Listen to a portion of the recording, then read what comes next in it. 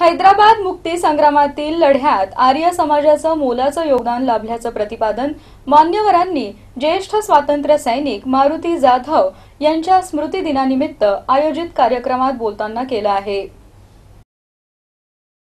ज्येष्ठ स्वातंत्र्य सैनिक मारुतीराव तुळशीराम जाधव यांच्या अकराव्या स्मृतिदिनानिमित्त सिडकोतील श्रीकृष्ण मंदिराच्या सभागृहात कार्यक्रम आयोजित करण्यात आला होता.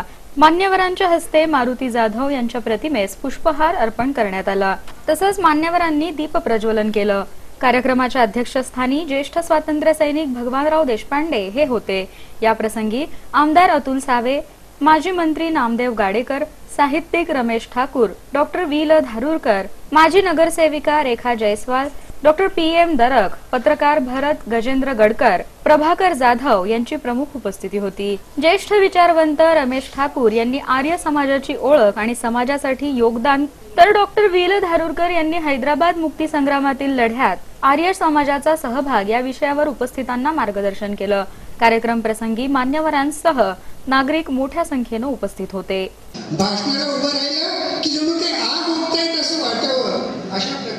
त्यांचं भाषण असायचं. आणि त्यांच्या त्याच काळामध्ये दोन अत्यंत महत्वाची माणसं त्या भागामध्ये होती. एक भाई बन्सीलाल आणि भाई श्यामलाल. दोघं भाऊ होते.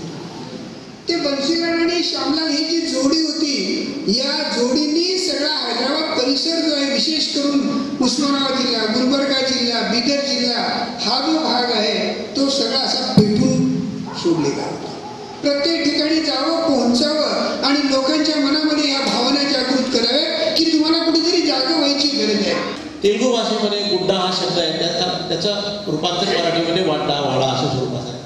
आजही वरंगल शहरामध्ये मराठवाडा वड्डा या नावाचा एक भाग जे मराठी लोक लोकांचा भाग तर गोदावरी काठचा मराठी भाषिकांचा भाग. सातत्यानं शिवकाळामध्ये स्वराज्यामध्ये फार कमी भाग आमचा होता. पेशव्यांनी याला स्वराज्य देण्याचा प्रयत्न केला पण त्याला फारसं यश आलं नाही. परंतु निजामाशी संघर्ष होत असताना झालेली पालखेडची लढाई असेल गुंगी शेवाचा धव असेल आखाडा बाळापूरची लढाई असेल राक्षस भवनची लढाई असेल आणि शेवटची खरड्याची लढाई सतराशे पंच्याण्णव झाली निजामाला मराठ्याने चित केलं होतं पराभूत केलं होतं ती सुद्धा आमच्या मराठा प्रदेशामध्ये.